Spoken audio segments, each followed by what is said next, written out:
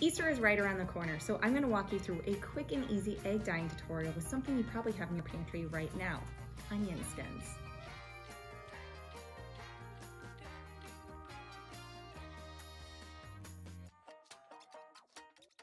Seriously, this never gets old.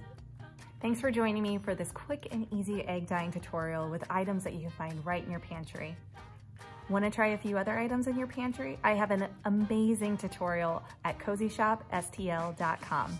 Check out the workshop tab and you'll see it there to download. You'll also find other great workshops to keep you busy. Thanks.